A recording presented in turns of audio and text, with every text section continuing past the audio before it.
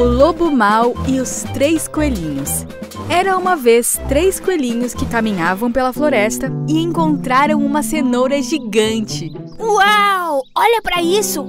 Eu vi primeiro! Eu que vi primeiro! Essa cenoura é minha! Não quero saber! mas eu vi a cenoura também, pessoal!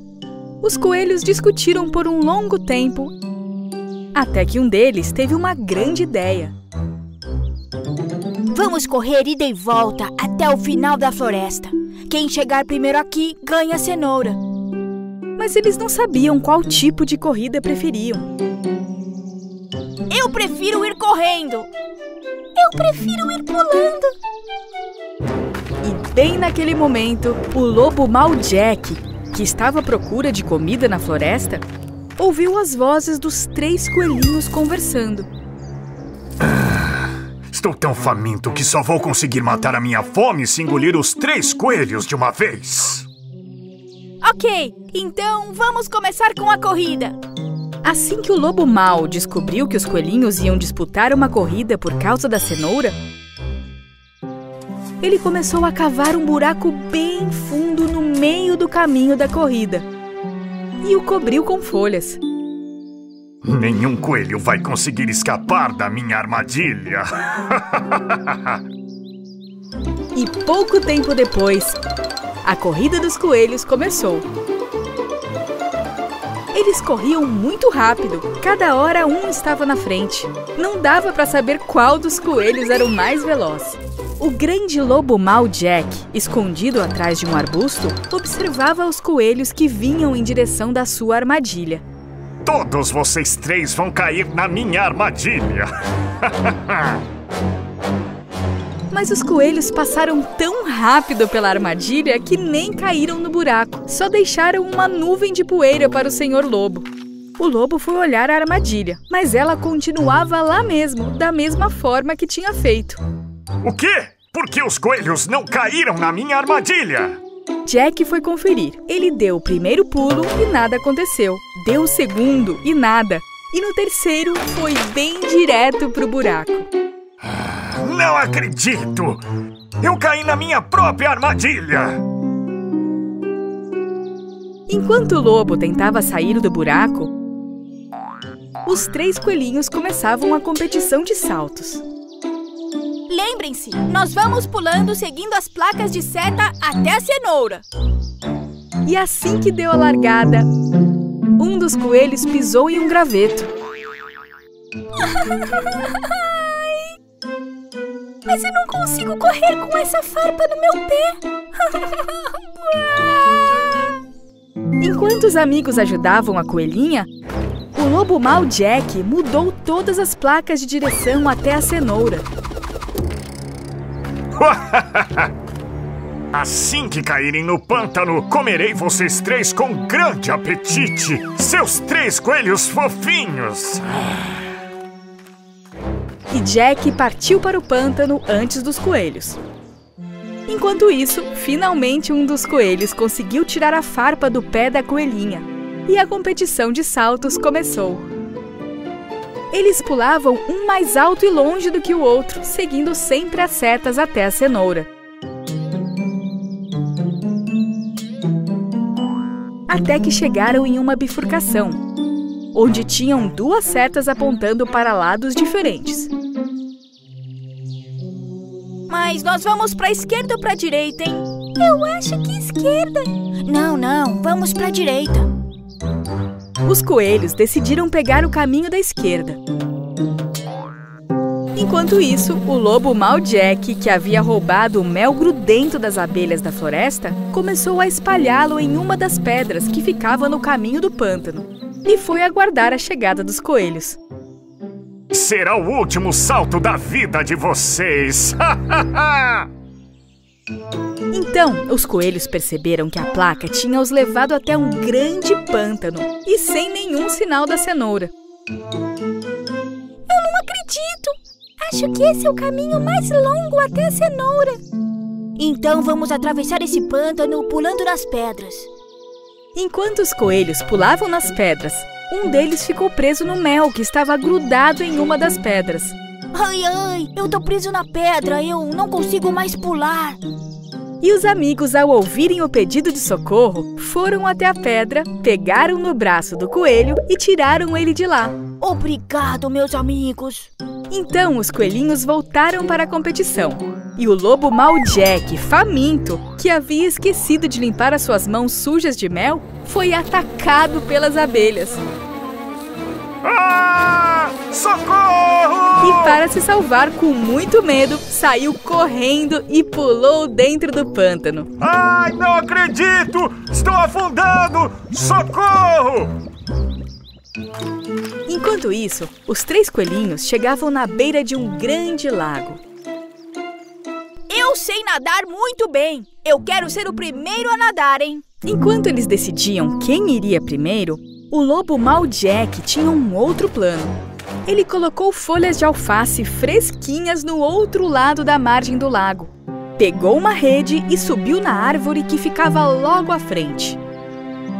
Enquanto os coelhos estiverem comendo as alfaces, eu os pegarei com a minha rede.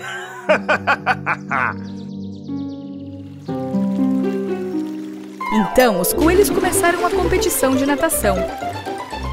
Todos nadavam muito bem e disputavam o primeiro lugar. E chegaram na outra margem do lago ao mesmo tempo. Ao avistarem as alfaces bem ali na frente, começaram a comê-las com grande apetite. E quando o lobo estava prestes a pegá-los, lá de cima da árvore, uma das aves que voava por perto ficou presa na rede de Jack e acabou o levando junto com ela. Não! Eu tenho medo de altura! Os coelhos finalmente estavam próximos da grande cenoura e saíram correndo em direção a ela.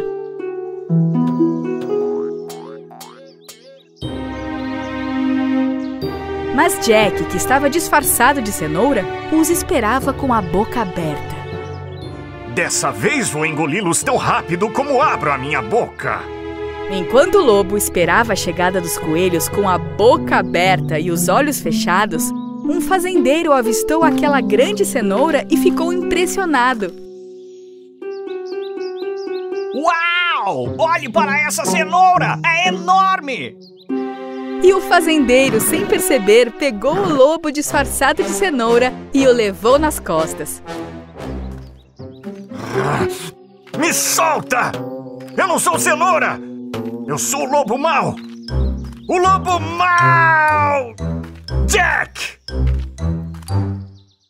E ao final da corrida, os três coelhinhos pisaram na linha de chegada ao mesmo tempo em primeiro lugar.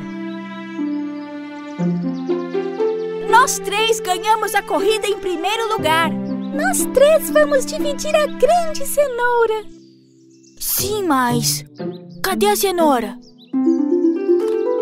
E não muito longe dali, os três coelhinhos conseguiram encontrar a grande cenoura que o lobo mau estava escondendo.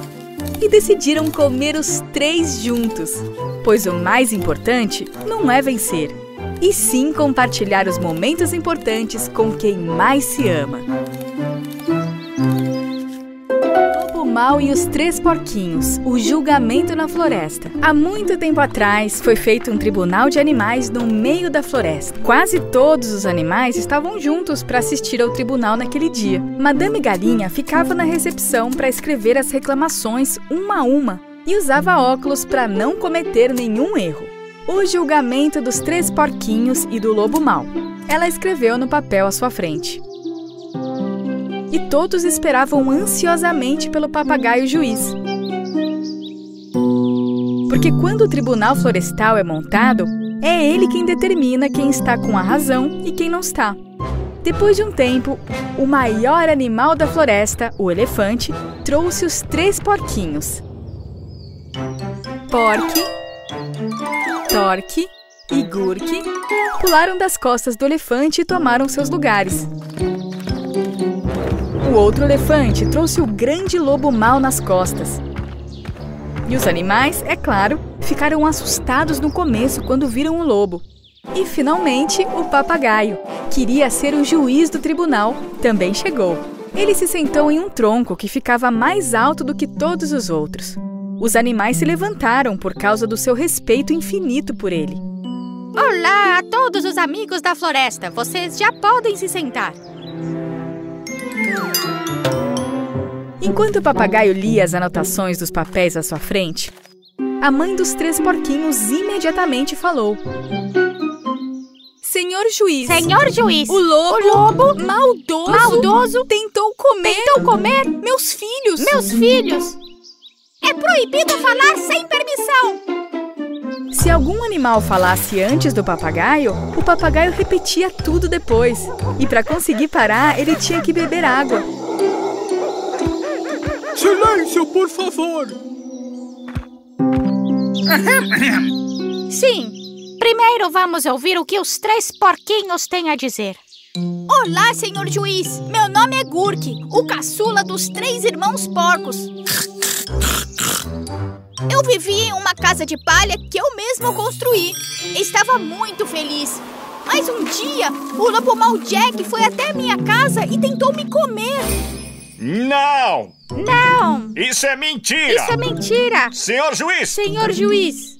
Não é permitido falar sem a permissão do senhor juiz! Felizmente, o elefante deu um pouco de água para o papagaio e o tribunal pôde continuar de onde parou. Vamos continuar com a família porco. Senhor juiz, o lobo foi até a minha casa de madeira e tentou me comer também. Então fugimos para casa do nosso irmão Porky para salvar nossas vidas. Mas o lobo mau não parou, senhor juiz. Ele foi até a minha casa também. De acordo com as leis da floresta, ninguém pode visitar a outra pessoa sem avisar ou ter sido convidado. É, ele tem razão, é verdade. Eu concordo. Absolutamente correto. não dá pra entrar. Eu nunca faria isso. O papagaio bateu com o martelo para silenciar os animais que estavam fazendo barulho. Silêncio! Todos precisam ser ouvidos de forma igual, animais da floresta. Então, vamos ouvir o que o lobo tem a nos dizer. Primeiro, boa tarde a todos os animais da floresta. Vocês me conhecem como Grande Lobo Mal, mas na verdade eu sou um lobo do bem, sabiam? Lobos que devoram porquinhos não são do bem. Lobos que devoram porquinhos não são do bem. Tá, tá, tá, tá, tá. Por favor, não falem sem a permissão do juiz. Enquanto o papagaio tomava sua água, o lobo contava o que havia acontecido. No dia que o incidente aconteceu, eu acordei bem cedo e comi um delicioso café da manhã em casa. O que você comeu de café da manhã? Eu comi um sanduíche de folhas recheado de morango, senhor papagaio. Depois eu fui dar um passeio pela floresta.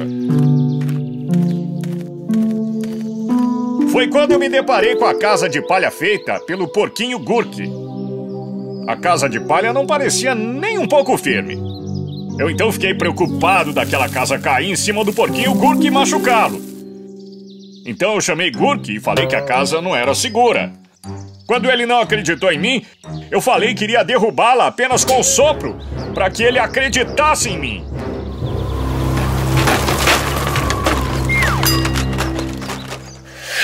Então você fez o quê? Assoprou e destruiu a casa dele?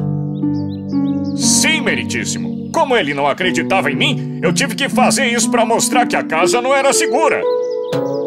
Então, não muito longe eu vi uma cabana feita de madeira. Quando eu cheguei mais perto, percebi que essa casa também não era segura. Além disso, dessa vez tinham dois porquinhos dentro dela. Sim, era minha casa. E meu irmão estava com medo. Meu irmão estava de com você medo. e foi até mim. De você e foi até mim. Eu repito! Silêncio no tribunal! Desculpe, madame. Então, aquela casa não era segura. Depois disso, eu fui até a janela e disse ao porquinho que iria mostrar isso. Então, eu soprei uma vez, duas vezes e essa casa também foi destruída. É, então você soprou as casas para mostrar aos porquinhos que elas poderiam machucá-los? Sim, senhor juiz.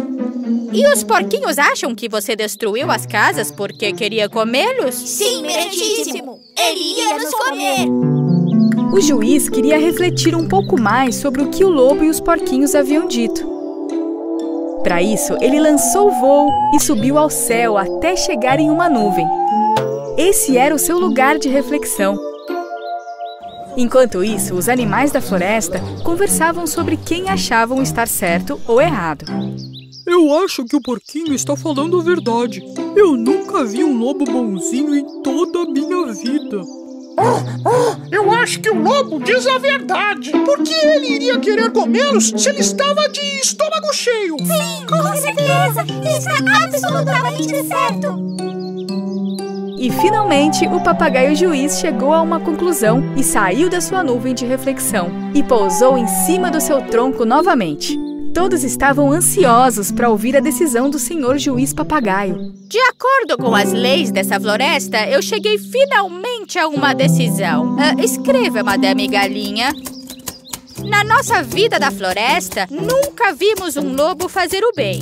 É verdade, eu nunca vi. Olha, eu acho que ele tem um Ele tem razão. Mas isso não quer dizer que lobos não possam fazer o bem. É verdade, pode, pode Ele tem razão, Eu Olha, eu acho que ele, pode razão. E eu percebi que, na verdade, na nossa floresta não crescem morangos em nenhum lugar sequer. Aham, sim, tem razão. Nenhum tipo de morango cresce nessa nossa floresta. O lobo, que definitivamente mentiu sobre o que ele havia comido, com certeza agiu errado nesse incidente. Minha decisão é que o lobo que destruiu as duas casas dos porquinhos construa casas novas a eles. Dessa forma, será o primeiro lobo da floresta a fazer o bem e dará exemplo a outros lobos. Obrigado, senhor juiz. O julgamento dos três porquinhos e do lobo mau Jack está finalizado. E então os animais da floresta compreenderam quem estava certo e quem estava errado. Depois daquele dia, todos os animais viveram em paz, seguindo todas as leis da floresta.